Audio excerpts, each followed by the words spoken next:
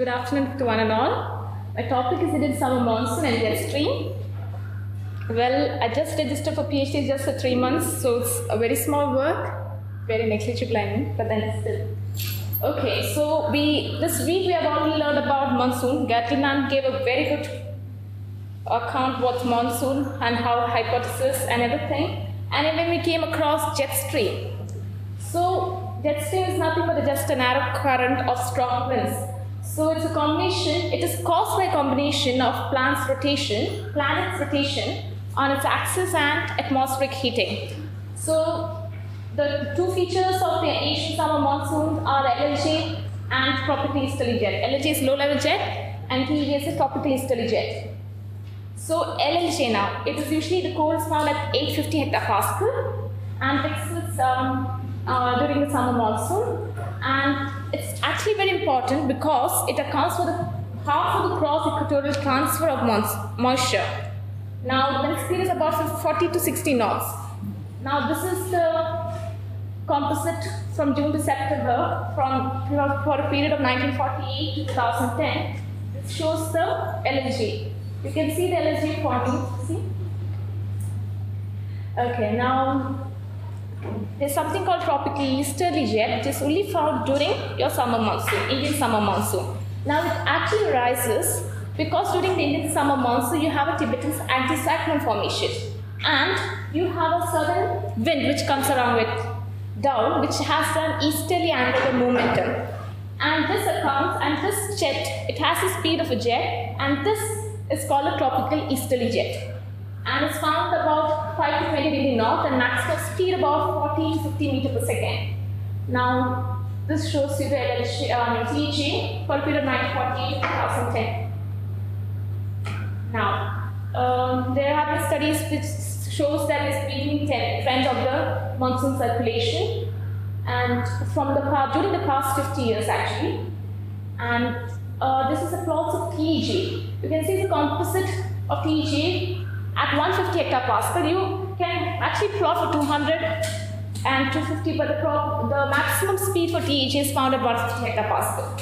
And first plot is from 1950 to 59, next one 1960 to 69, 70 to 79, and it's clearly evident even the next span spatial and even the intensity and it's decreasing.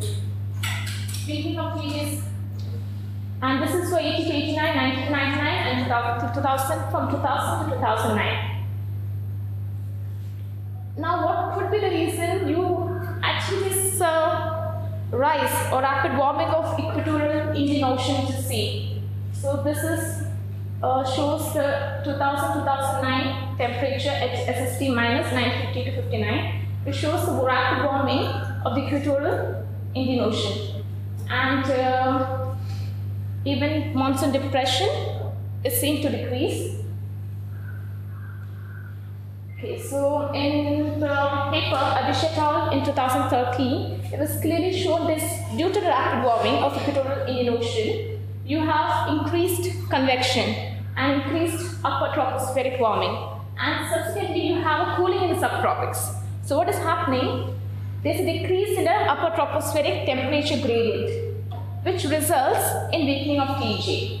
And monsoon Hadley cells also weakens, which results in the weakening of LLJ. Now, what has happened, which is already mentioned before some talks and all, and monsoon cyclone formation, cyclogenesis, is kind of increasing. What's the reason? TJ is decreasing. So, what is the uh, condition for cyclogenesis? One of the condition is you need to have a low vertical shear.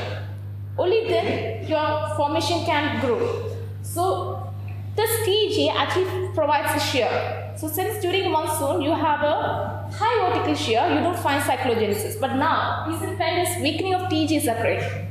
So there may be chance of cyclogenesis. So I feel the jet streams are important because yeah, will be important because it will surely, if you know more about it, it will surely help in more better forecast and even understanding of monsoon. Less than five Okay, minutes. that's good, thank you. Yeah, Trustees. No questions? What is your results area? What are you going to do that?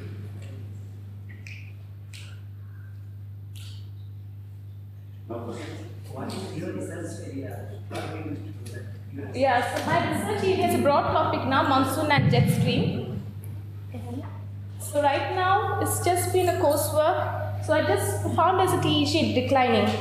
So that's what I found it over here. And uh, so just started work, so just start to find more about jet streams. There's another jet stream which is called subtropical jet stream.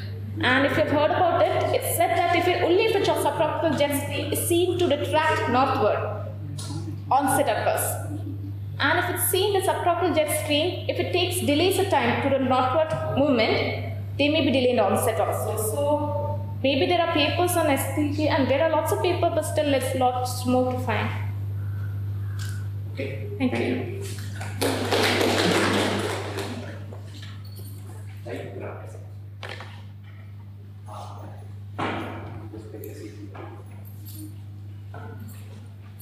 Could you open this, my slide?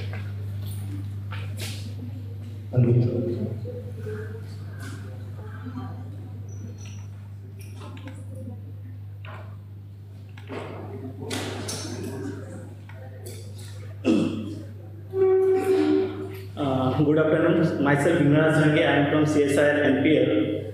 Uh, Today, uh, my discussion topic is physico-chemical characterization of urban resources. In this talk, I will discuss only the part of my research topics because due to the time constraints. Uh, Going forwards, I will, uh, this is the outlines, aerosols overview, objectives, objective enablers, ongoing research and conclusion future class. Yeah, aerosols importance and what we intend to do. Aerosols are suspensions of liquid solid or in my way, multiple phase of condensed matter in the atmosphere with size range varying from 1 0.001 micron to 100 microns. Why aerosol is important? Because the formations and growth of the atmospheric aerosols has recently received increasing attention as a potential important source affecting the climate and health. As you, so, as, you, can see, when the aerosols uh, reach to the climatic, climatically relevant size, it will influence the Earth radiative budget and taking part in the cloud condensing liquid. And regarding health effect, if we see different, uh, depending on the site and the chemical composition, it can go to the different tract of the respiratory parts and it creates a different respiratory disease. Uh, depending upon the source of originations, aerosols are of two types. One is primary aerosols, those who are coming directly into the atmosphere, and secondary aerosols which form in the atmosphere through the secondary region, maybe the photochemical oxidations or by means of gas to particle conversions. Uh, based on this, the objective is find the new particle formation events in Del- Delhi and study the causes. That means inorganic versus organic species. This study would help would be helpful to better understand the distribution of secondary aerosols and its burden over Delhi. If we going forward, uh, first we have to know what is new particle formation. This is basically the gas to particle conversion. In this cartoon figure, you can see the condensable vapor in the atmosphere condense to form a critical nucleus. this process is called the nucleosynthesis. The reverse process is called evaporation. And this critical nucleus, uh, depending upon the suitability of the environment that goes into the fine particles up to 50 nanometer particles. And this part, uh, can go to the high particles by means of coagulations and condensations. Uh, using scanning mobility particle sizer, uh, we did this three month of uh, experiment continuously. We found three at least three growth events. Plus, growth event was uh, growth of the particle found consecutively up to four hours. It stayed there, and it is this this is we call the banana figure. This is the particle size with respect to the length of the times. Here you can see the particle growth from uh, um, around 30 nanometer it just up to 160 nanometers. You can see this trend. And if you, uh, you calculate the geometrical mean diameter along this uh, size distributions with respect to times, if, uh, if you, uh, you, you, you can got the linear plot from this uh, that the y to mx plus c from the m you can get the growth rate of the particles that uh, and we average all these three at three days uh, growth rate and compare with the people reported all over the world. Uh, where uh, New Delhi's growth rate was found about 15.4 nanometer per hour for this three month of studies.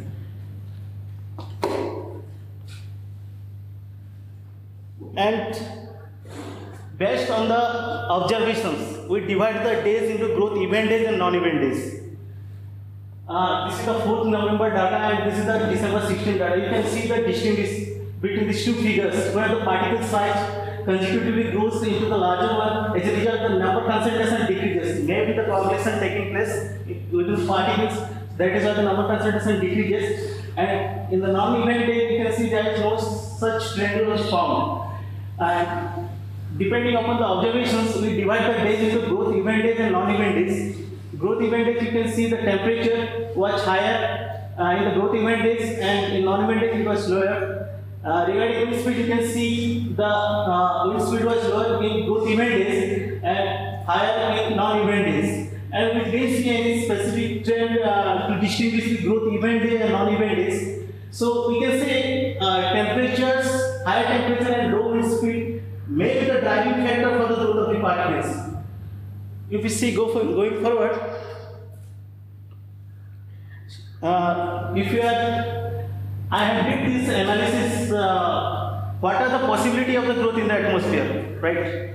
Uh, you can see particles of the same size coagulate to form a bigger one. That's the coagulation due to the self coagulations. The freshly formed nucleation particles being scavenged by the existing larger particles. As a result, the larger particle act as its seed and grows into the larger one.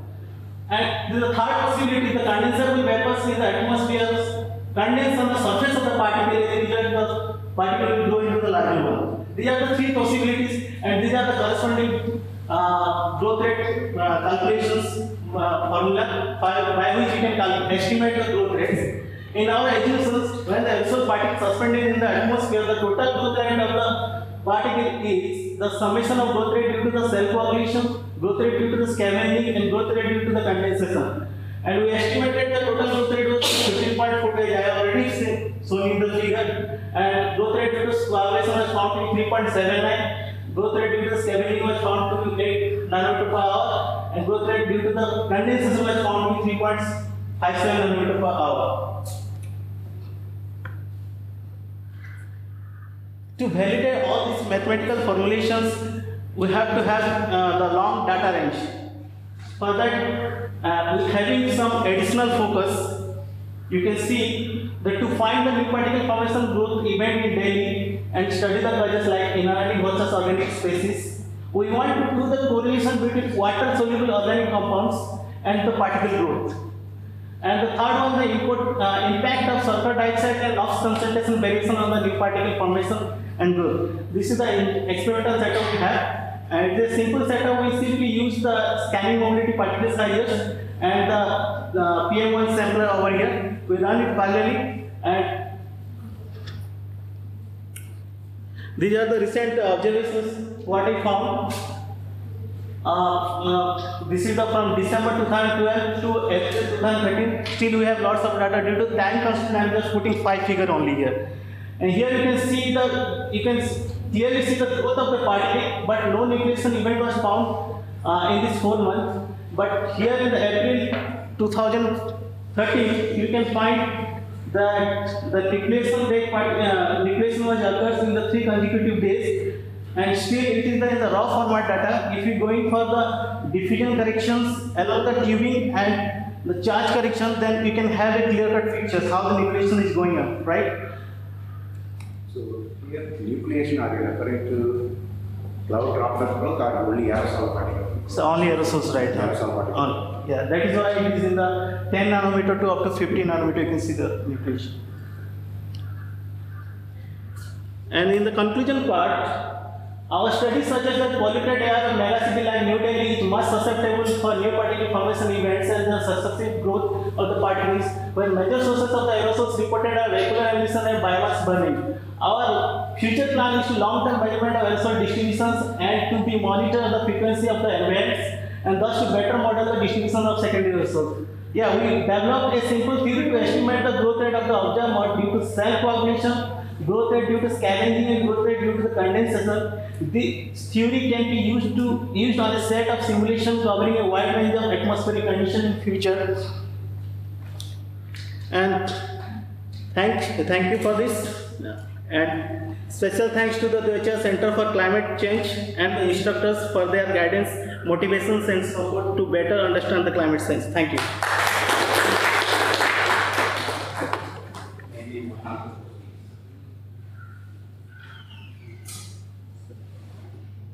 Any? Okay, uh, thank you. Thanks.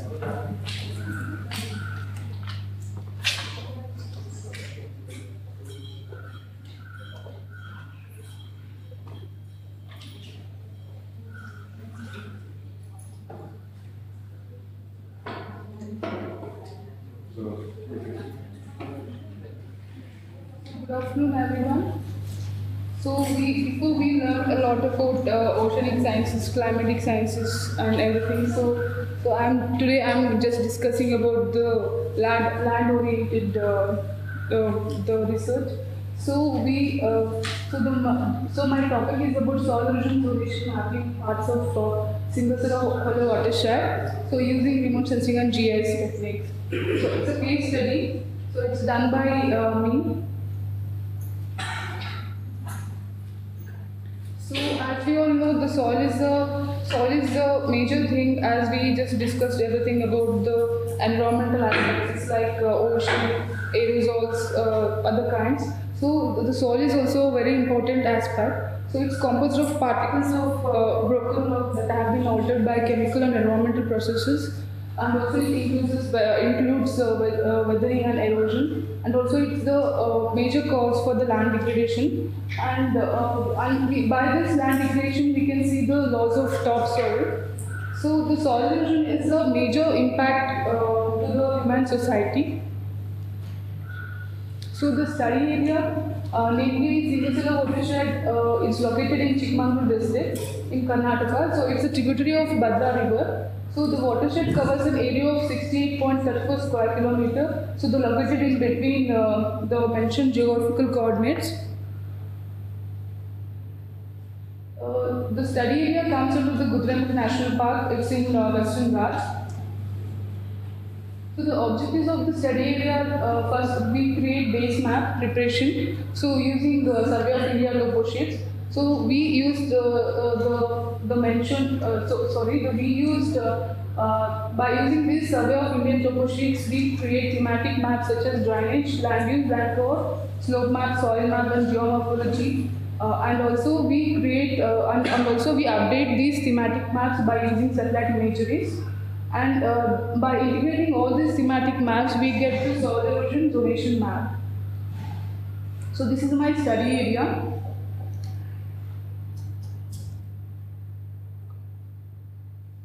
Okay. So this is uh, the Chikmagalur district. It's in Karnataka. So this is the Western Ghats you can see here. The Western Ghats also comes in Chikmagalur district. So this is the uh, the location of my study area. So what are the materials I used is um, the I used Survey of India topo map numbers uh, 48 by 3, 48 by 3 and uh, 04, 08 and in the scale of 1 to 50,000. 50,000. So to prepare the base map and I used IRS LISS-III image to update the various thematic maps and I used ERDAS Imagine 9.2 to get the ground referencing and also I uh, used ArcMap to plot the maps and uh, layout it and also I just used ArcGrid so it's all about the GIS, I did it in GIS platform. So the, me- uh, the methods what I use, What does the number mean, map? so these are all topo sheets numbers. What is, what is that, forty-eight slash? Yeah, 48 O by 3 means so uh, uh, we divide India in several grids. So we give the different uh, grids, uh, different numbers for grid, different grids. So the, the series like row and path. So if we get the 48 path, like 48 number, in that we get the O series of maps. Like O series of map, number is 3 and another number is 4 and 8, like that. Okay. So you can see in ISRO, uh, ISRO Bhuvan uh, uh, in this. Okay, and then yeah, so I prepared all the maps, uh, getting uh, like suggested by IMSD guidelines. Uh, it's, uh, uh, this is slope, geomorphology, LULC, geology, and three model maps were uh, uh, prepared by using IMSD guidelines. And I used it because to identify the soil erosion zonation maps, which is we can find the prone areas which having more soil erosion. And we later uh, we classify different uh, classes of uh, uh, attributes, and we get the uh, the suitable capability values. So this is the drainage map. So this is drainage map uh, because most of all from other backgrounds, so they might have not seen it. So this is the drainage map uh, which is caused by uh, the rainfall, like the geological structures and all the and other geomorphology, everything, every aspect. They are all uh, create these uh, streams. So the, we find this this is a tributary of uh, the Tungabhadra river. This is the highest order stream, that is fifth order stream. So we can see here statistical information about the streams. So we get here in the first to fifth order. The order of streams from first, first to fifth order. So the major streams we find here is fifth order stream. So this is the LULC map, that is land use land cover map, which is uh, um, derived from the uh, the supervised classification of uh, satellite imageries. So we uh, so the legend shows here. So this is the uh, area where we get the dense forest, and it's the open skirt forest, and the plantations here, and the settlements which are in black um, black words. So this is the statistical information of that LULC. So this is a slope map which is done manually using topo sheets, and this is uh, uh, the mm, the slope in percentage and area in square kilometer. The slope which is having a higher elevation, we can uh, give the different uh, slope uh, probabilities. And this is soil map. We, we get here, we found majorly uh, four uh, soil, soil types that is clay loam, sandy clay, and sandy clay loam, and also the sandy loam. We get major, uh, majorly the, the soil type is sandy clay loam. And this is hydrogeological map because it's having very uh, very elevated region, so it, we get only negligible amount of pediplains like pla- plain la- plain lands, and, and we get more structural hills here. So this is the lithology map. We found major two type of rock types that is basalt, conglomerate and metabasalt. These are all uh, from igneous rocks. So the, the final and uh, the last step is uh, we do in the integration of these maps finally and we give capability values for it. So this is the uh, integration of all the maps. That is, we use two maps to integrate, and again the final map will be merged with other. That is lithology, soil, and LULC. That is superimposition, superimposition of all the maps, and we get the soil erosion zonation. So this is, these are the capability values we have given here. That is capability values is nothing but we give the capacity value like for individual area which is having 0 to 3 percent is having less weightage that, that is 1 then it is 2 3 4 like this we are given the capability weightage values so So this higher is value is, uh, higher value yeah higher values is more uh, weightage for lesser value we give less value uh, so the soil erosion gauge will be higher for parallel. Yeah, yeah. So this is the final uh, soil erosion zonation map. So this is the uh, we give uh, we manually give the attributes. In the attributes we give the high, low, moderate, very high. We classify it like this, and the output map will come like this. So the uh, region which is having high erosion uh, is in green color, low, moderate, very high. So this is the statistical information that we give. We have given area in square kilometer also and area in percentage. So what I conclude is that integration of thema- thematic maps provide accurate information on soil erosion zones and also it affects uh, uh, the development of human society. So we should uh, um, take care of it. And, uh, and and in the present study, remote sensing and GIS tools are used to map uh, soil erosion prone zones, and also it's very reliable and simple one. So I recommend uh, um, I recommend these like the I recommend these things to um, to other people whoever wants to soil erosion zone. So the, I prefer farming strategies and uh, uh, allow indigenous plants to grow along river banks like and also tree shrubs and ground covers will also affect the perimeter and also the construction of border check dams for civil engineering peoples. So these are also references which I refer. Thank you. So I thank uh, the Divecha Center for Climate Change and also Bharat sir uh, and also the organizing committee whoever uh, made me, uh, whoever giving me an opportunity to present over here. Thank you. So questions? First, Can you go to the uh, weighting factor slide? Pardon? Capacity building. Yeah. Yes. Uh, you have given uh, settlement for the highest one, but settlement will hold the soil. No. This is based on the. Yeah. This is very lower. Yeah, yeah. But the settlements, what happens is they're not taking care of the drainages. So it holds the soil, but the drainages will be like you know it's flowing. The streams will be like there. The run for run runoff will be more. There's no infiltration. So, I think. Okay, next. On what basis you have given this weightage to the following parameters, the parameters that you have considered? Yeah. So on what basis or what part of what, what are the thinking behind Yeah. the basis that you have? Yeah, okay. So uh, it's also uh, it's having one method that if we uh, it's not like my me- my method of doing this because everyone has done it. So I thought it's the best method to take a mm, simpler format of uh, the regime zonation map. Like so we can we, can, we cannot spend lots of time like to do it and everything. So this is the best method to do early. Like it's simple and dirty. Yeah, it's already done. So I have, I have mentioned the references, like in references I have mentioned it. So then uh, the potential value is the sum of these capacity. Yeah. Okay, so we'll move on to the next. sheet.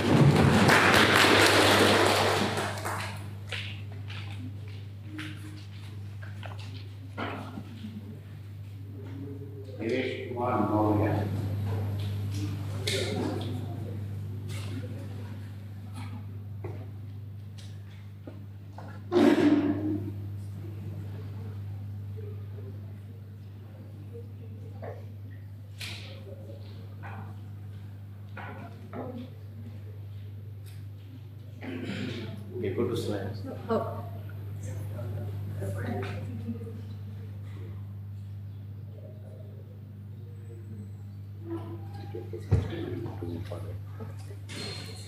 So, good afternoon, all of you. Uh, as you all know, I'm the odd man from this clique. I'm totally from different background. I'm from communication background, so uh, you won't find any data and uh, you know that kind of stuff. What we do, like we use your data to just communicate with the people, right? So. Uh, uh, from last two years, like I'm working on this uh, environment environment issues and especially on the water resources. So uh, actually, my concern is like how this water resources are important for life and livelihood and how this climate change is affecting. Okay, so uh, uh, I'll just so impact of climate change on water resources, like we have different, uh, like we have groundwater, we have river and glaciers, and uh, uh, basically it is like how human activity, like uh, you, this science uh, science section has collected data and it shows like how uh, uh, it is, uh, uh, you know, it is. Affecting affecting that that thing like our carbon footprint and other thing so we we just document like as a document documentation part is ours so you, you see the water resources central to life and livelihood Mm, I have worked in this uh, Maharashtra. Uh, it is like uh, the area called uh, uh, Ahmednagar district. Uh, it is like there's problem of rainfall and this. So these are the three main areas in which I am working. We are working Gujarat, Maharashtra, and Rajasthan. I've already made a documentary. Like our team has made in Maharashtra. This I, the link I have given. Okay, and that includes uh, about the problem they were having. They started facing that problem just a decade ago, and you know they uh, they went for adapting some uh, you know some adaptation like how to uh, adapt in this changing climate uh, with the help of some organization like I work with uh, WOTR in Pune. So my my uh, presentation is totally based on experiences I have had uh, working with different organizations. Okay, so like I have worked with WOTR and I worked with CE. So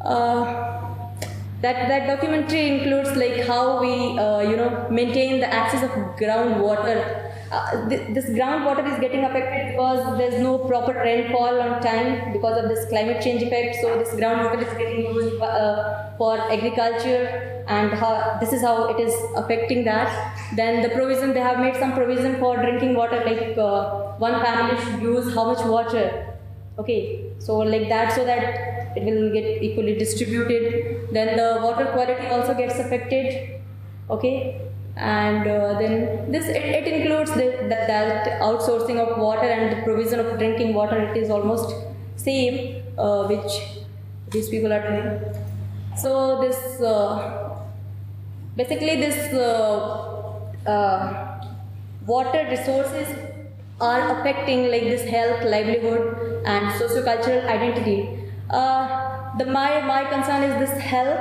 and I'm about to cover this livelihood and other part.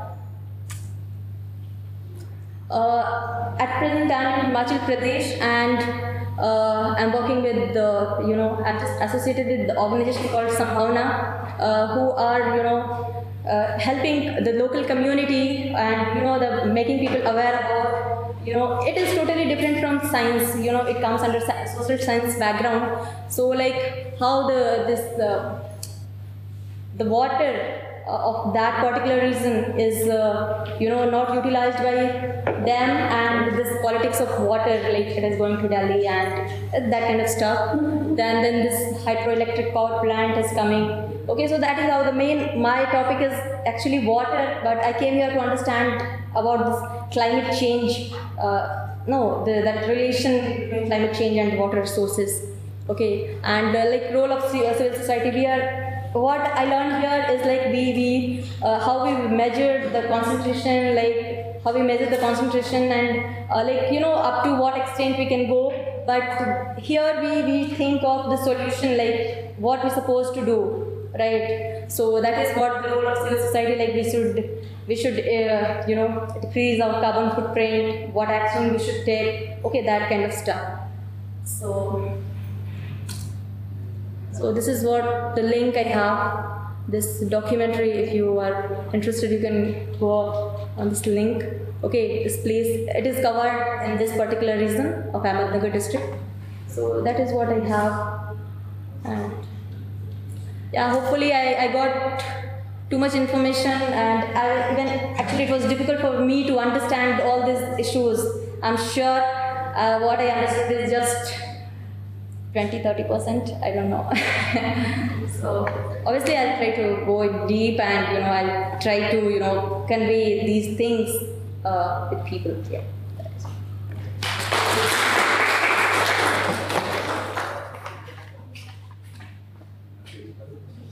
That's okay. Do you have a question? oh yeah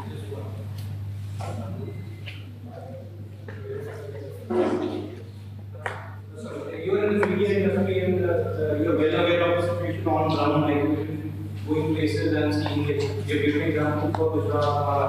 Yeah, yeah. Do you find any good examples, any particular state doing well as the government, any state, not that particular village, but are you getting deals around that some states are doing very better as the is? Uh, see, I have worked with this uh, uh, organization called WOTR. They are working in some four five states like uh, Chhattisgarh, Maharashtra, Andhra Pradesh, or so. Uh, yeah, the, according to their documentation, I mean, there has been change, and we have interviewed. What we do, we talk to people, we talk to the committee. Okay, so we have got that that kind of stuff. But I'm still in the process of understanding that whole scenario. Okay. Okay, thank you.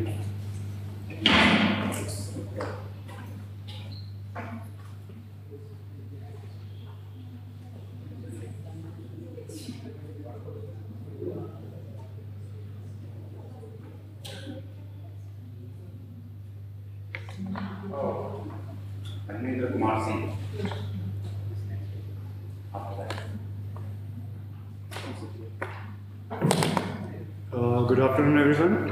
Uh, I'm Devesh Maurya from NRSC Hyderabad. I'm working as a scientist in atmosphere and climate science group. From uh, past one year, I'm working on estimation of soil moisture using passive micro remote sensing data. The main objective of this project is to uh, develop a, long-term database for uh, this uh, soil moisture so that we can use that, this uh, data in some global climate change models. Uh, this is the overview of the whole presentation. First, the introduction to microwave remote sensing and the passive microwave, uh, microwave theory.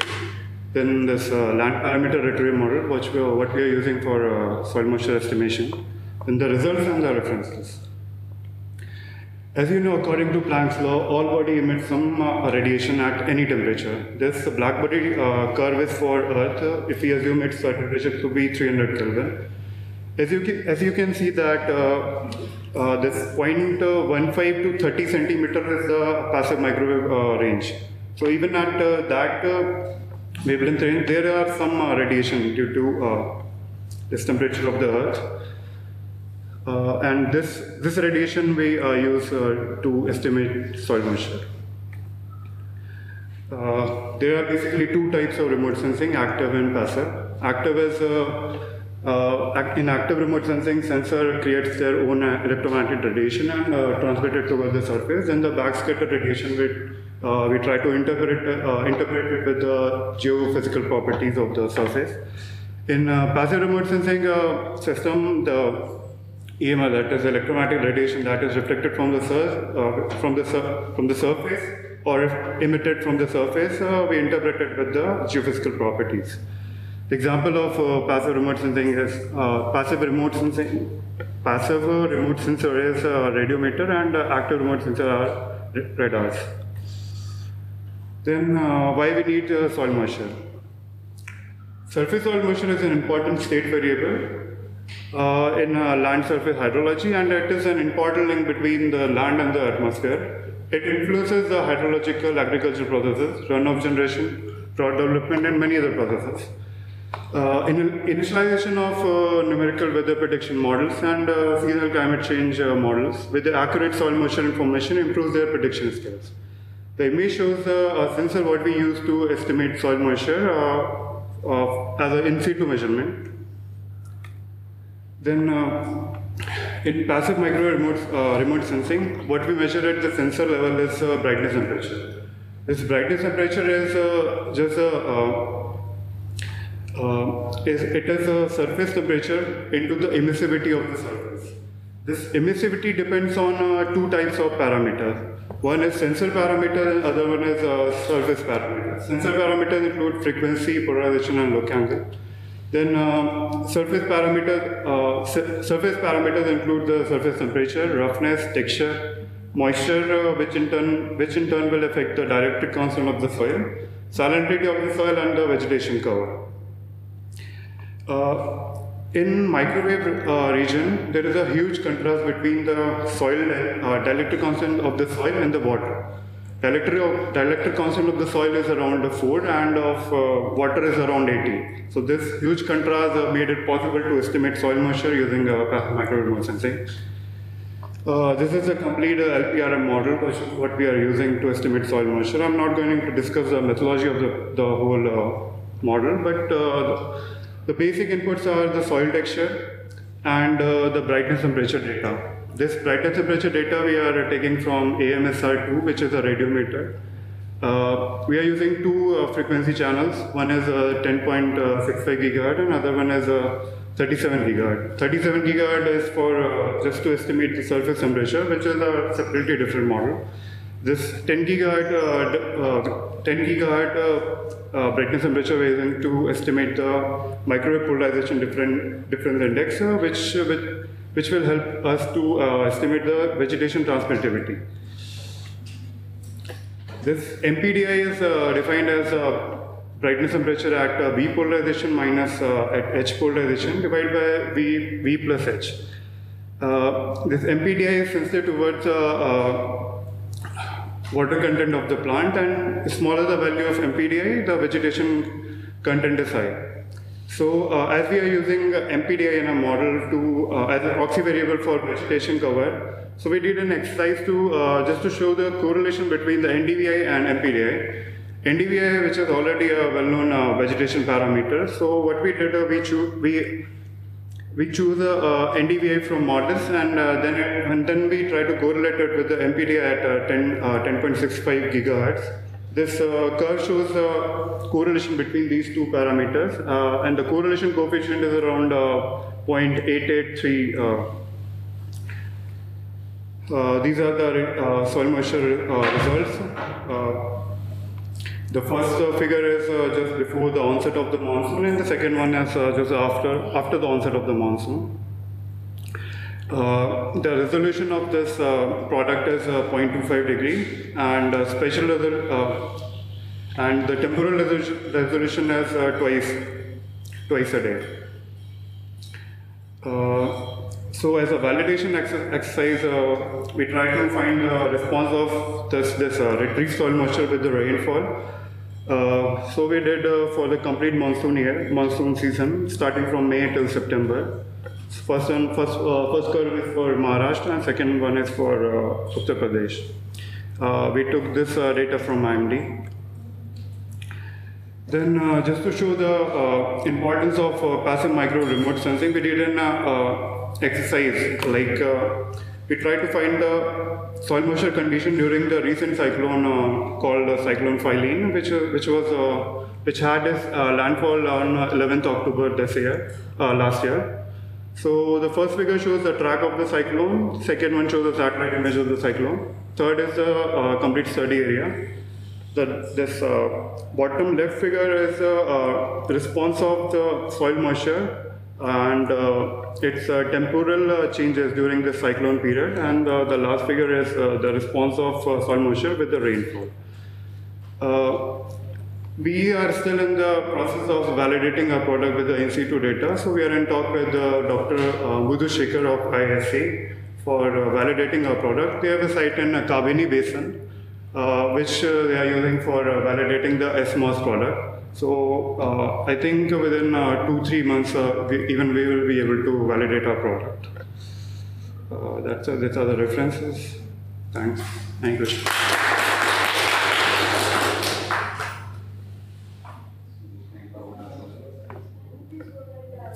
previous monsoon and the monsoon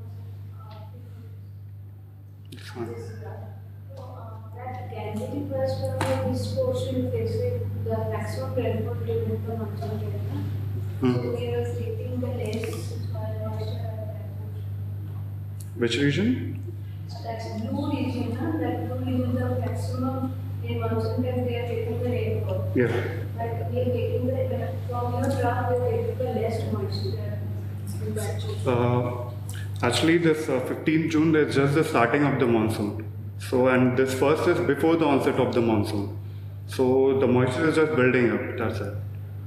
So even if we uh, if we plot some later dates like uh, 30th of June, Maybe July will be. yeah, July will be a complete coverage of the moisture.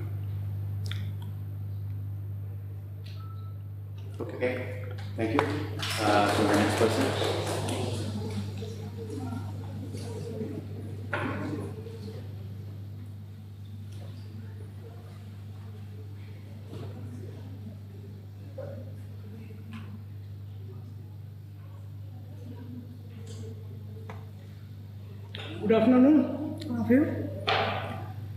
मैं Dhanendra Kumar Singh from Lucknow remote sensing centre Lucknow.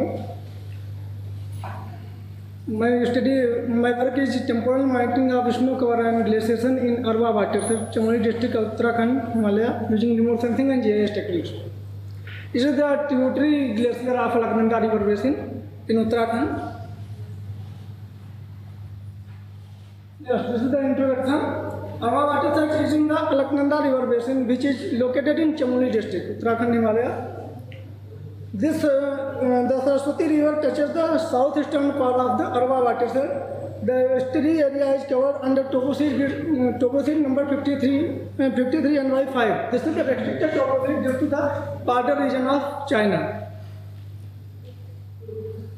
You see this area, this is the Lakshmana river basin and this is the Saraswati and upper part of the China. From the, this area completed the Arvada, this is the tributary glacier of Alaknanda River.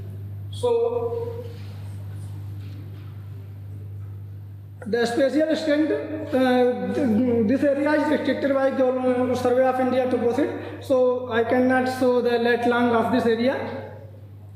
The Arva watershed is situated upper Garhwal region and ongoing the height of 6600 meter is lying between the Saraswati and Alaknanda watershed as per SOI topography. The upper boundary of Arva watershed is joining with Saraswati watershed and the lower boundary touching the Alaknanda watershed. The total area of uh, watershed is 190.72 square kilometer. The objective to learn the techniques of remote sensing and geographical information system that are used in observation of glaciers.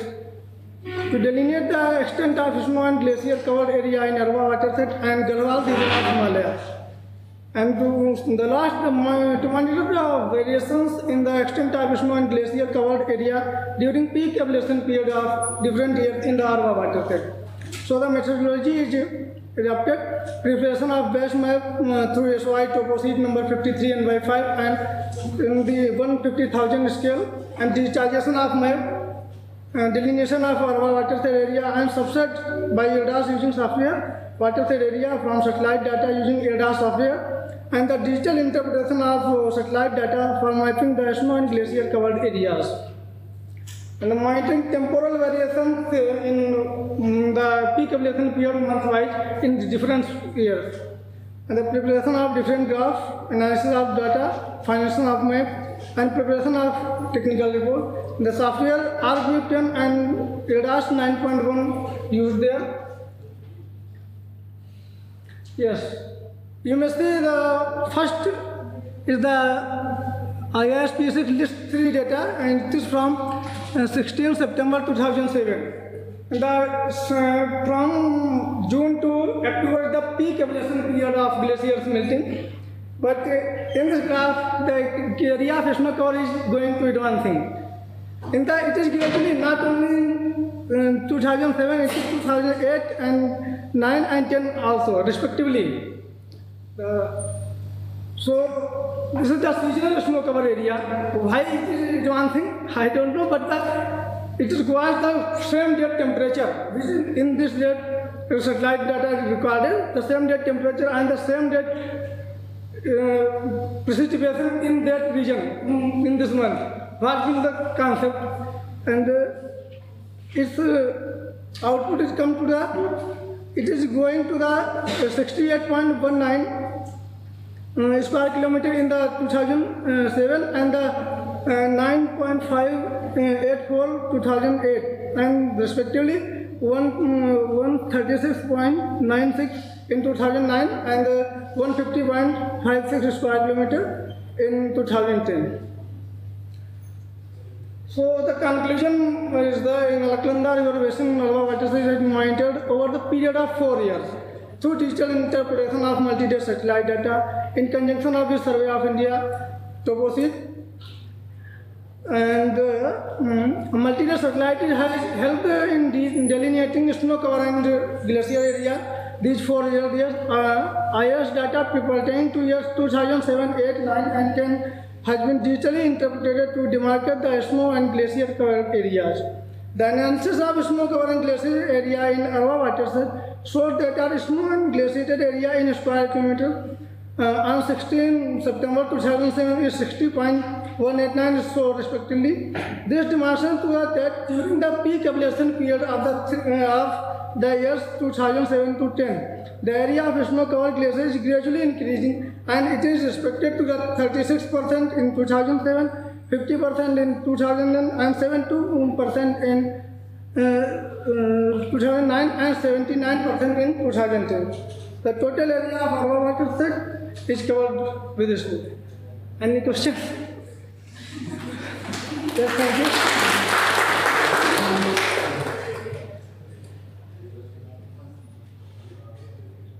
Okay, there is no question, we'll move on to the next person.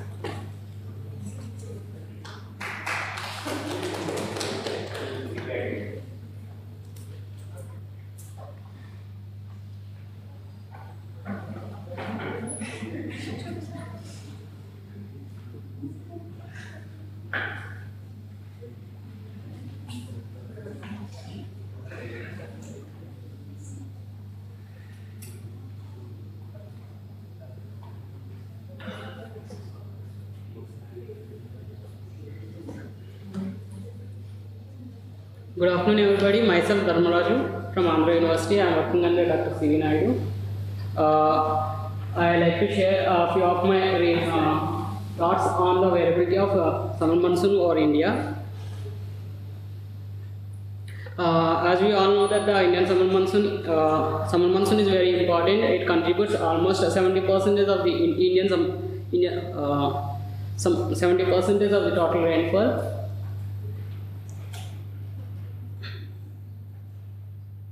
Um, these are the data sets and the time period and the source regions which I had made use for my present study. Uh, this is the time series, uh, all India time, seri- time series of all India summer monsoon rainfall graph.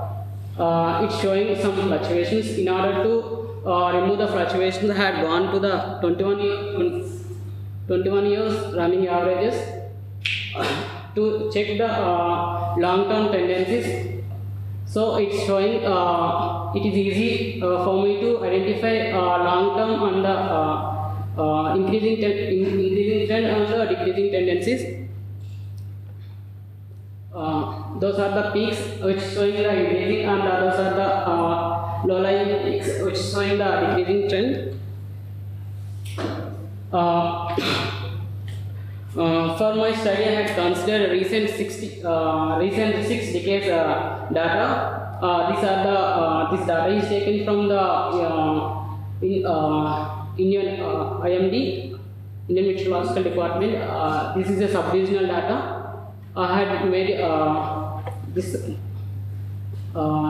These are the rain. This diagram representing the rainfall differences for the period 1983 to 2012 minus uh, 1953 to 1982. Uh, out of 30 subdivisions which I had considered for my study, uh, are showing the positive uh, positive values, uh, and rest of uh, them are showing the negative values. Uh, the minimum positive value is uh, at Madhya Maharashtra, it is about uh, 7.9 and uh, maximum is uh, the sub-Himalayan West Bengal, it is almost around uh, 147.5 and Gangetic West Bengal, it is about uh, around uh, 82.8, 88.2 Uh, this is the judge statistics for the uh, difference of mean summer monsoon rainfall. Uh, if the uh, jet value is around 1.65 or 1.96, the uh, the, uh, the the values are significant at the uh, 10% level and the 5% level. Uh, the significant values are around uh, 1.9 that is uh, sub-Himalayan West Bengal and the Gangetic West Bengal it is about 1.7 and the negative values are uh, significant uh, the mm, East Rajasthan and uh, West Madhya Pradesh. Uh, this is a diagram representing the differences in the mean sea surface temperature in the summer monsoon season for the two periods. Again, I had uh, uh, separated uh, the two samples, that is a recent sample minus the previous sample. Uh, it shows that along the southern latitude, southern latitudes, the differences are positive, and uh, when we see uh, in the northern latitudes, uh, the differences are uh, almost uh, less. So this pattern clearly indicates that the this pattern clearly indicates that the which is the pattern clearly indicates that the it is not favorable for the mon- summer monsoon. It is a uh, air temperature differences. Uh, the differences are again positive. Uh, um, uh, uh, positive again. Uh, the the differences are less along the monsoon trough region, uh, which clearly indicates that the temperature gradient is less. These are the uh, zonal wind, uh, circulation pattern. On the left panel, it is represent uh, the zonal wind is at 850 MV, uh, which representing that uh, in the southern latitudes the uh, the magnitude values are negative. Uh, almost the magnitude values extended to minus one, uh, which is uh, which clearly indicates that the uh, weakening of the south westerlies in the lower level. On the right panel, it is uh, upper upper surface level at 150 millibar. The easterlies are uh, yeah, the easterly jet is clearly uh, decreasing. Uh, from finally, what I conclude, uh, what I conclude is uh, uh, over the major part of the India, the summer monsoon rainfall has been decreasing in the recent three decades. The decrease is associated with the weakening of the westerlies in the lower lower level and weakening of the uh, easterlies in the upper level and this is associated with the north-south temperature gradient in the Indian Indian Ocean region as well as its peripheries. Thank you.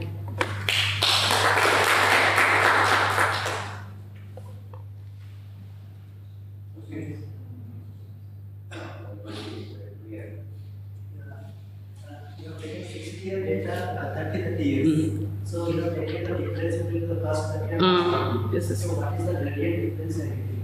How much this gradient is increasing decreasing? Decreasing. Present the gradient is decreasing. And why you selected that 30 30 years? Just uh, uh, 30 years is the sample for the climatology. That's when, but uh, according to the data, the Mm. span you have, you just. Uh, yes, yes. highlighted. Uh, 30, 30 years. Okay, thank you. Next person. So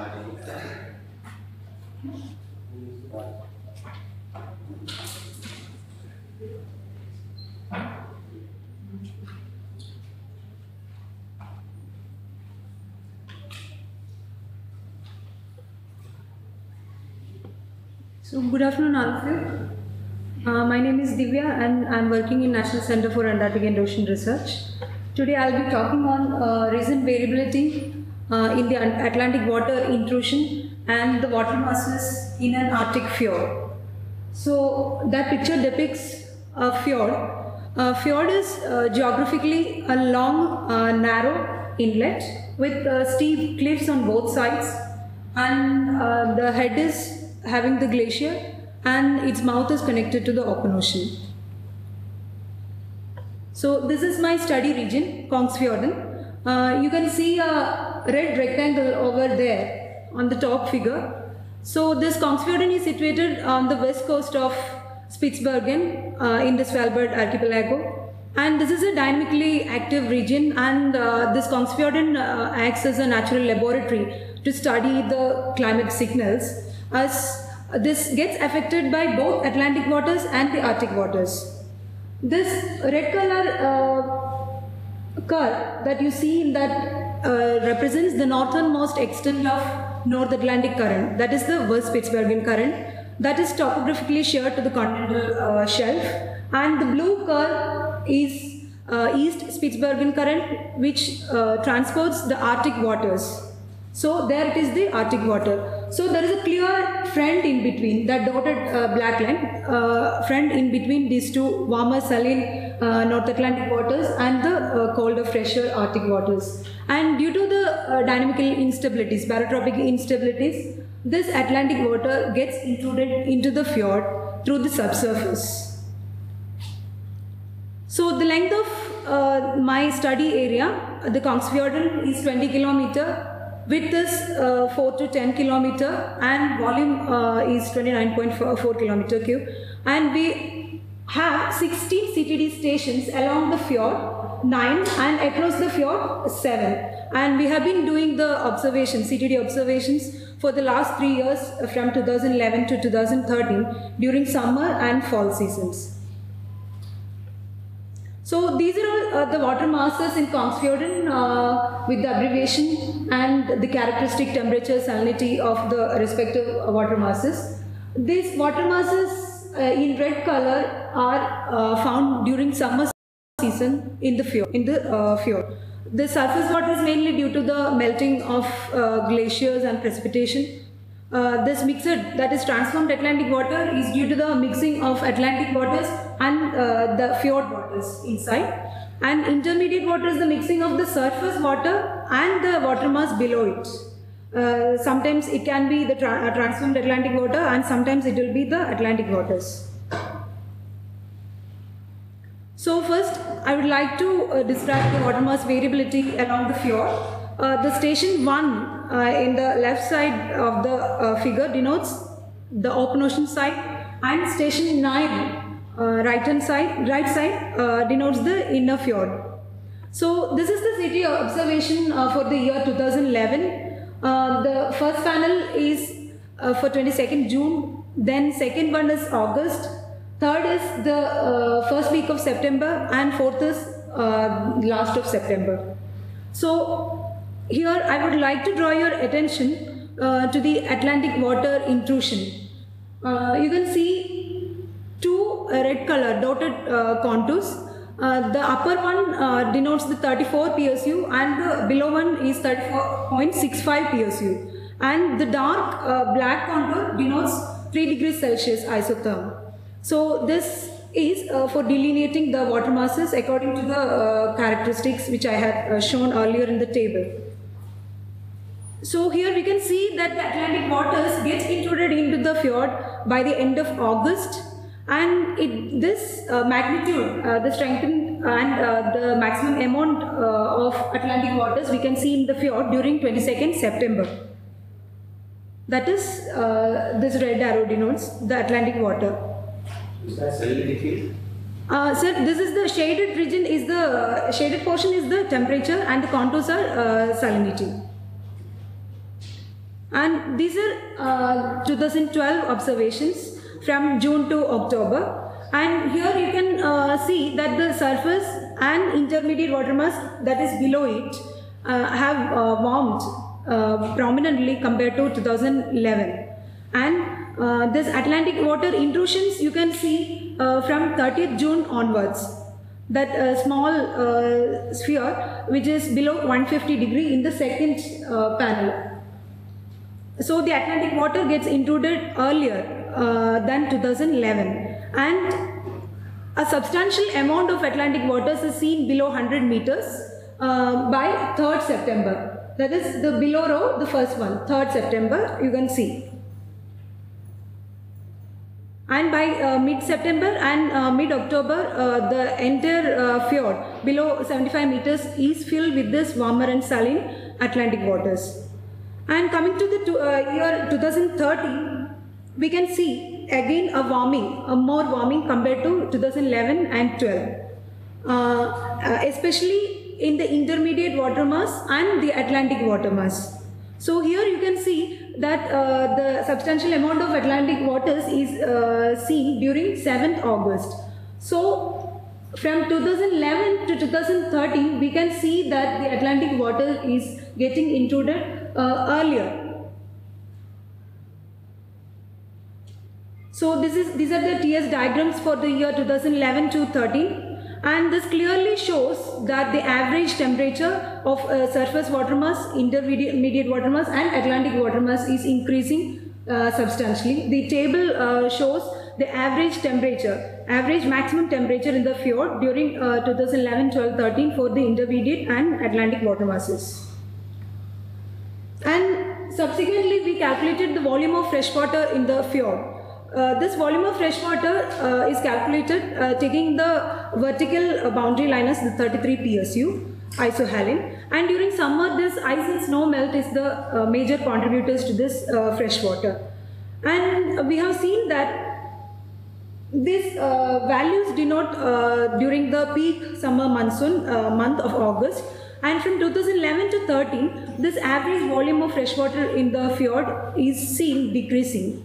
And we have found that the decrease in 2012 is due to the pronounced increase in the surface water salinity and temperature compared to the previous year 2011 as we saw in the TS diagram and decrease in 2013 uh, was a combined effect of the increased surface outflow of the freshwater layer that compensated this increased inflow of Atlantic water into the fjord. And after that we have uh, checked the surface wind speed and direction at Kongsfjorden and it again cemented our uh, uh, the description of um, mean why the re- uh, reduction in the volume of freshwater layer. So this red rectangles denotes the summers of 2011, 12 and 13 and there uh, the upper panel is the wind speed and the down panel it is the wind direction. So you can see an increase in the wind speed uh, compared to 2011. 2012 is, uh, uh, you can see a increased wind speed. Again 2013 also you can see. And the direction denotes uh, that the wind is becoming more and more southeast. That is from southeast.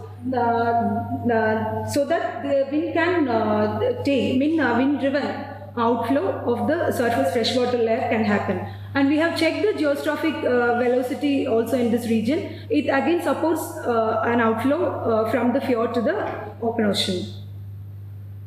So to summarize, the surface water mass, intermediate water mass and Atlantic water mass in the fjord is found warming and becoming more saline during the summer fall seasons from 2011 to 2013. The strength and volume of this Atlantic water intrusion into the fjord also has increased substantially while the volume of surface freshwater in the fjord decreased from 2011 to 13. So this decrease in the volume uh, is due to the conservation, that is to compensate uh, the increased and uh, flow of Atlantic waters, uh, the surface outflow also have increased. Hence, the increase in the surface water salinity and temperature, the increased surface outflow of the freshwater layer corresponding to the increase in volume of Atlantic water inflow into the fjord. This gets strengthened again by the increased southeast winds. And these are the reasons for the decrease we have found in the freshwater volume inside the fjord. And our future objective is to understand how much the surface waters from the fjord, uh, the freshwater output uh, to the West Spitsbergen current and its effect on the sea ice melting and related issues. We have seen that uh, the, even the surface water is becoming uh, warmer. So the outflow of this warmer waters can enhance the sea ice melt. Thank you.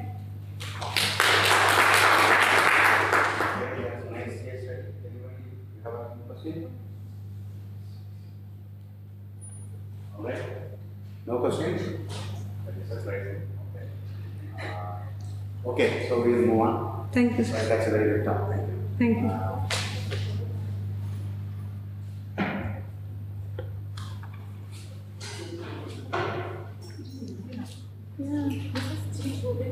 Huh?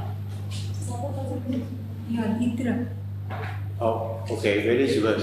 Kaki, that is number 10. Just click number 10 here.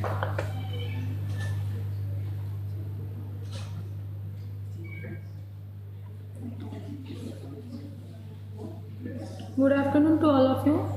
I am Gargi Gupta, doing MTech Remote Sensing from Banasthali Vidyapeeth. My presentation topic is uh, estimation of soil organic carbon using remote sensing in a tropical forest.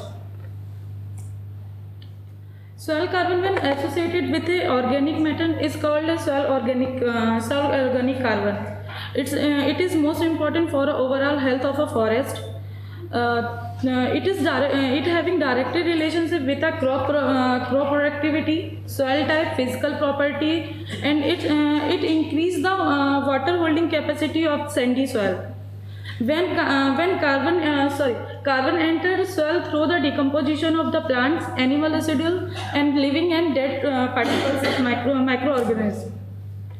Study area. For this paper, I am uh, taking is uh, Ranthambore Tiger Reserve, which is in uh, Sawai Madhopur, Karauli district of Rajasthan. Total area of Ranthambore is 30, uh, 1334 square kilometer. And uh, this is only one uh, tiger reserve uh, in uh, Rajasthan where right now tigers exist. Temperature of this area is 40, uh, 40 degrees Celsius to 47 degree and annual rainfall of this area is 800, 800 mm.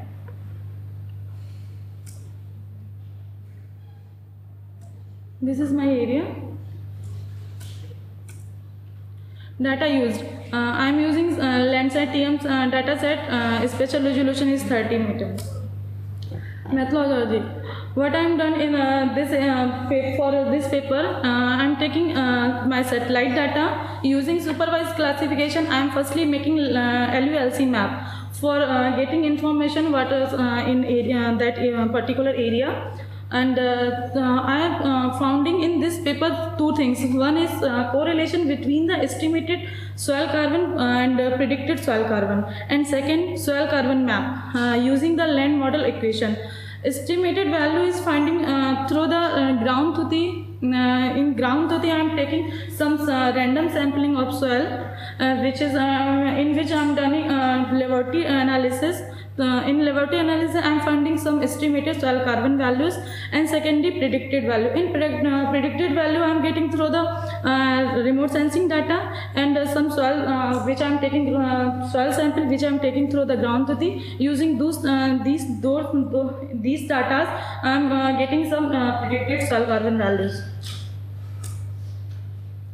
For this paper, I am using these indices, where soil index to find to uh, uh, enhance the back, uh, background of the particular area for the soil, and uh, second for uh, um, NDVI, uh, it uh, it uh, it is used for the vegetation monitoring and crop. Uh, in, uh, for this uh, indices, I am using two bands NIR and red. And third one is soil carbon map. Uh, uh, soil carbon map uh, making using the linear equation. Uh, this linear equation come from the uh, regression analysis. This is my sample data. Like this, I have uh, taken about 28 to uh, 28 to 30 datas. Land use land cover map. Where soil index map showing the uh, soil of about this area.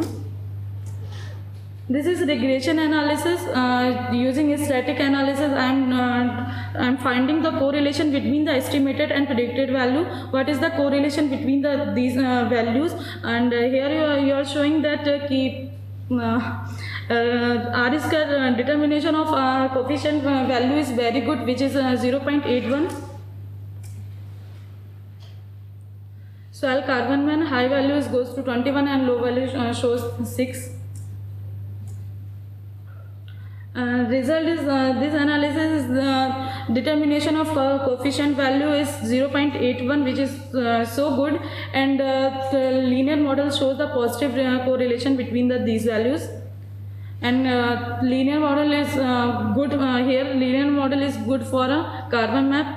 Actually right now this paper is not completed. I am done uh, i'm doing uh, this analysis. So that's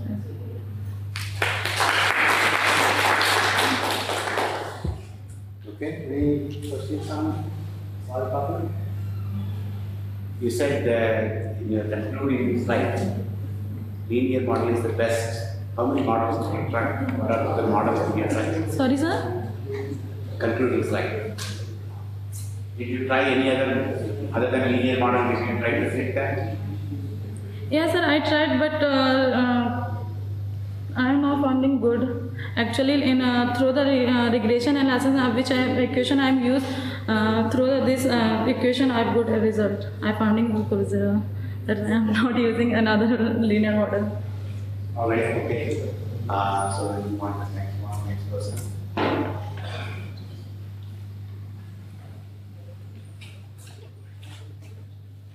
Okay, so again, we, yeah, we will be the last person for before tea. Thank you,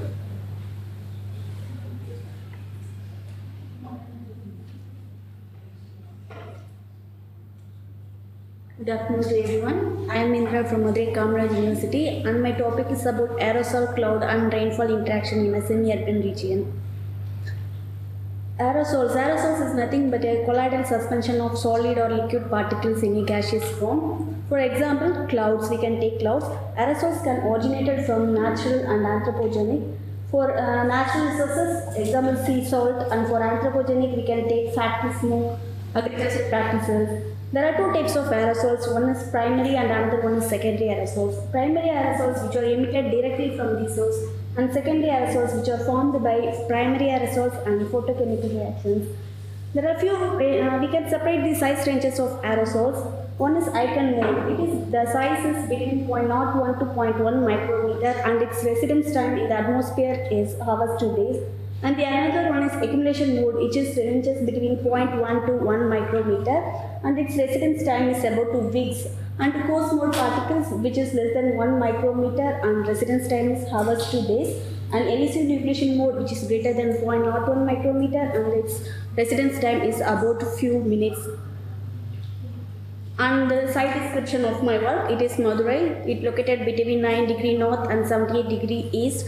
It is about, uh, located above 100 meter mean sea level and the surface area is 52.8 kilometers square. Uh, uh, from 2011 census, the population is about 3.2 million and the city receives its major rainfall in post-monsoon, especially in the October and November month. Materials and methods. For the study, we collected data from MODIS. For the study, I used aerosol optical depth, cloud optical depth, and cloud effective radius. The resolution is 0.25 into 25 degree, and the level 3 is pre-product, and collection is 5.1 at 550 nanometer. And for rainfall data, we collected it from tropospheric rainfall measuring mission. For the study, we used train test, which is a non-parametric test. It identifies the increase or decrease of a variable for a particular time. Uh, for the study, I collected data from 2001 to 2009. Since no trend was observed in from 2001 to 2009, but there is an increasing trend found in the last five years. This is the annual statistics of aerosol optical depth from 2001 to 2009 for Madurai city. During 2001, the mean aerosols, lowest mean aerosols was found in 2001 and the highest level of aerosols were found in 2009. This is the seasonal variation graph. Uh, in the location, during monsoon period, highest level of AOD was found and during winter, aerosol level was found to be low. And this is the aerosol rainfall interactions. As per the climate profile of India, uh, we selected two years. One is 2008 and another one is 2009. The reason for selecting these two years is 2008 is active monsoon year and 2009 is a drought year, which is comes under severe category. And in this study, we particularly concentrated on post-monsoon period because Tamil Nadu receives its rainfall in post-monsoon. You go back one slide. So that green line is the summer monsoon time or uh, What's it? that green line you have, This is monsoon. that is June, July, August. Ah, June, July, August, September. This is the monthly time series of rainfall over Madurai city. The lowest rainfall was noted in 2009, which is the drought year. This is the monthly variations of AOD and rainfall over Madurai. Here we, uh, in 2008, during post-monsoon season, that is from October, November and December, the aerosol concentration is increased with the increased level of rainfall. And, with, and in the 2009, in the drought year, the concentration of rainfall is increasing with low level of AOD.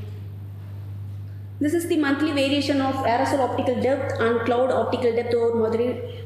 During 2008, in the monsoon, uh, in the post-monsoon period, the aerosol is increases and the AOD also found to increases. And in 2009, the uh, there is a decrease in the AOD, whereas COD is increasing. And this is the variation of aerosol optical depth and cloud effective radius. During the post-monsoon season, both AOD and CE are increasing level. And during 2009, uh, AOD is increasing, uh, AO, sorry, AOD is decreasing, meanwhile CE is found to be maximum. This is the variation of cloud optical depth and rainfall. In 2008, in the monsoon period, both cloud optical depth and rainfall was in maximum. But in 2009, the rainfall was in maximum, but the cloud optical depth is in minimum. So this is the rainfall and cloud effective variations. During 2008, uh, post monsoon, both rainfall and cloud effective radius was found in maximum. And in 2009 also, both are found in maximum. So from this study, we found that there is an increased level of aerosol optical depth in the past five years. The aerosol optical depth was found in monsoon and lowest, uh, found maximum in monsoon and found minimum in winter. This is due to the boundary layer height and wind speed. 2008, that is in monsoon period, the aerosol optical depth, cloud optical depth and cloud effective radius found positively correlated with rainfall. And in drought year, these parameters were negatively correlated with rainfall. So the drought uh, the negative correlation in 2009, this is maybe due to the absorbing aerosols which cause horizontal and vertical temperature variations as the seasonal rainfall. And another reason may be the less cloud effective radius which also leads to cloud dissipation and less rainfall. AOD have a significant impact on monsoon rainfall. AOD and cloud parameters play an important role in monsoon rainfall. The increase in increasing level of AOD in this study site is due to transportation, population, and agriculture practices such as biofuel burning practices. Thank you.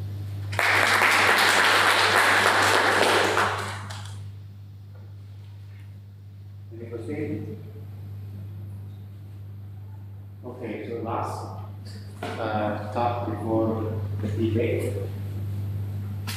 Thank you.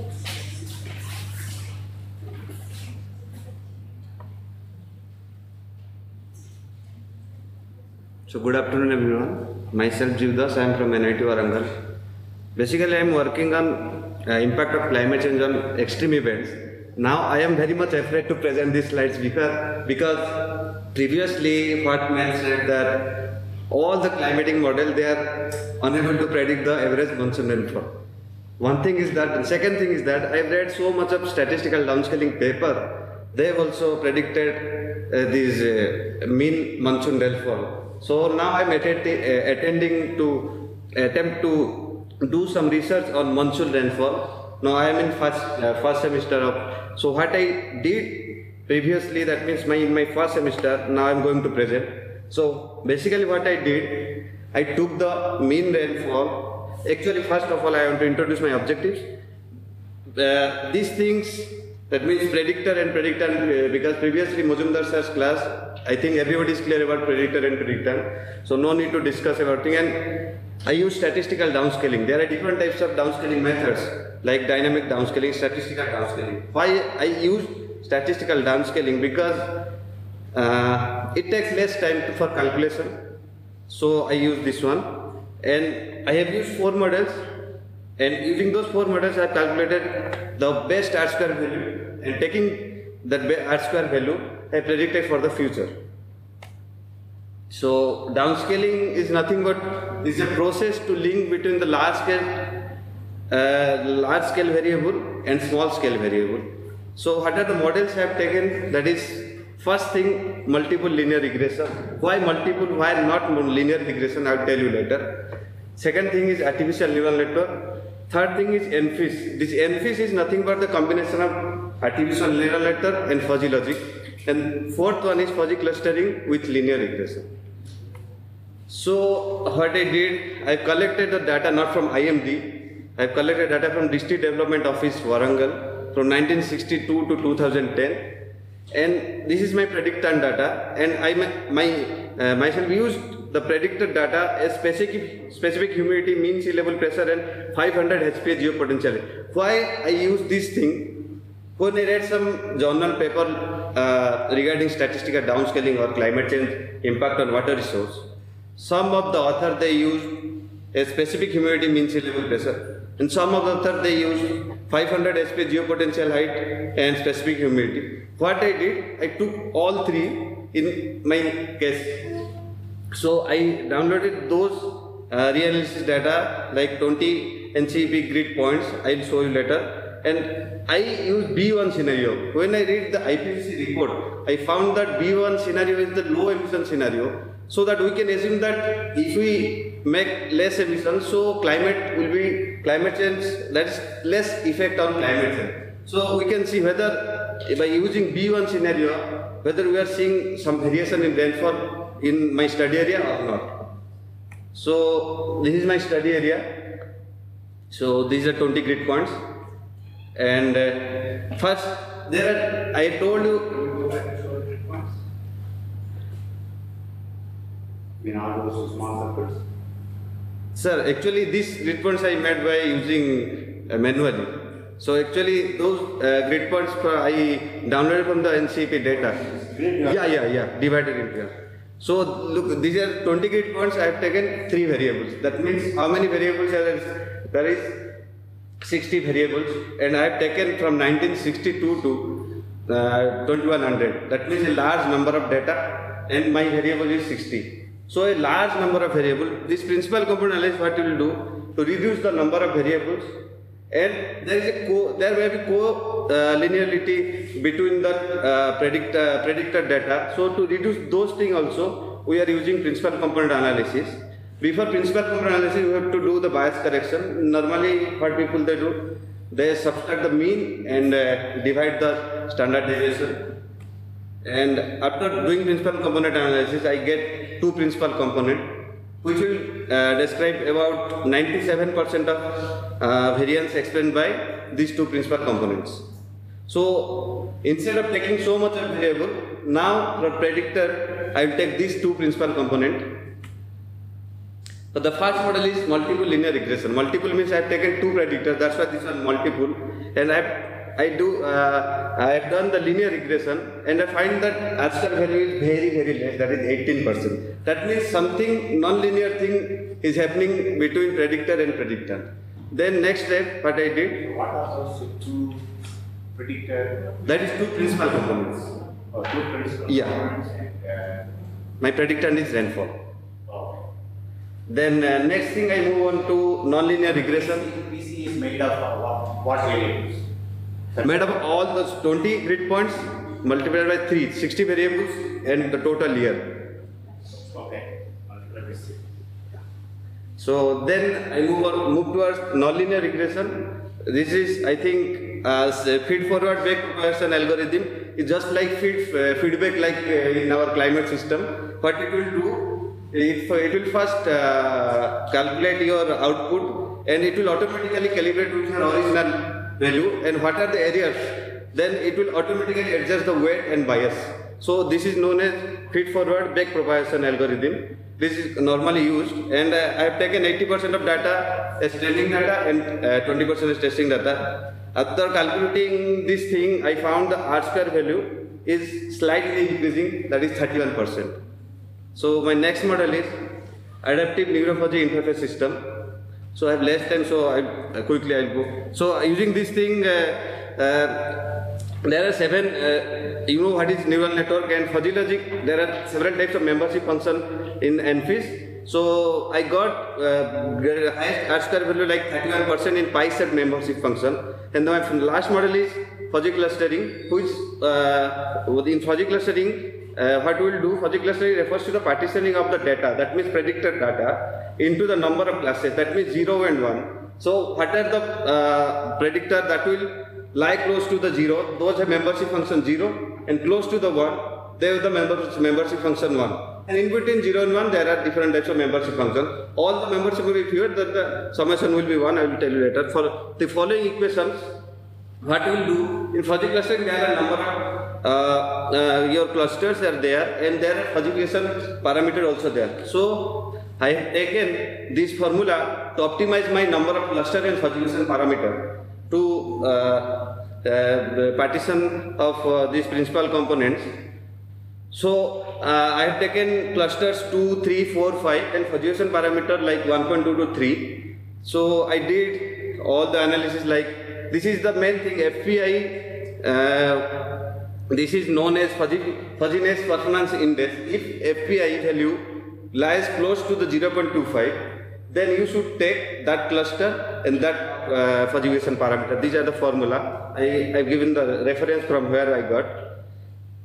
And I found these are the board the uh, number of clusters 5 fuzzification parameter 2 number of cluster uh, 1.8 sorry 4 and fuzzification parameter 1.8 like this I did and uh, finally I calculated for all the cluster and fuzzification parameter I found the R value is 78% that is maximum for uh, clusters number 5 and uh, parameter 1.6 And after summarizing all those things, I got this uh, rainfall like uh, uh, after doing uh, fuzzy, fuzzy clustering, I do the linear regression. I found this equation, and I found that average annual monsoon rainfall there is like very less. We can say that almost no uh, climatic effect. We can uh, see better thing like uh, if we plot it like box plot. This is one. The first one is the 1980 to 2009. That is the historical data, and afterwards 2010 to 2039. You can see that that uh, median like slightly decreasing. Not so much of climatic effect is there because I am using B1 scenarios.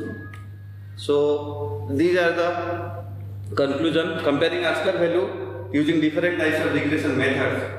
I found that fuzzy clustering with linear regression is the best one. And B1 scenario, as I, you know that low emission scenario, so there is no uh, uh, much change in the uh, monsoon rainfall. And you can see that in the future, the, sir, the monsoon rainfall, is it for all India or only? only for my study area, Warangal. Study at the twenty grids or only your grid point? One grid point. Grid point means uh, I took that, uh, yeah, grid point. Just for Warangal? Yeah. And uh, the lower extreme values, you can see that in previous historical records, the lower extreme values, there is like 500, in between 500, 600. After, in the future, it will, if we follow the B1 scenario, then it will be like increased. It will goes up to in between 600 to 700. So these are the reference. Thank you.